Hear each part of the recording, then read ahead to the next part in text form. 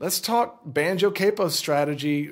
People get frustrated with how out of tune their banjos get when they put their capos on, and it's true. It can be a challenge. I've got the top of the line uh, capo and banjo here, and I still have to adjust the tuning a little bit. But there's some ways to help yourself out. First of all, when we bring our capo up, if you're talking about a clamp style capo like this, the main thing is don't over tighten.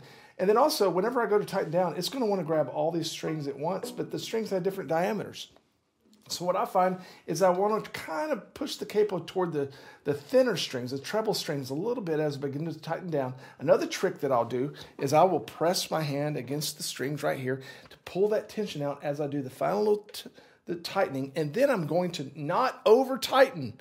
That's that's number one enemy. Now once I get it there, it's pretty close. I might have to retune that bottom four string just a little bit.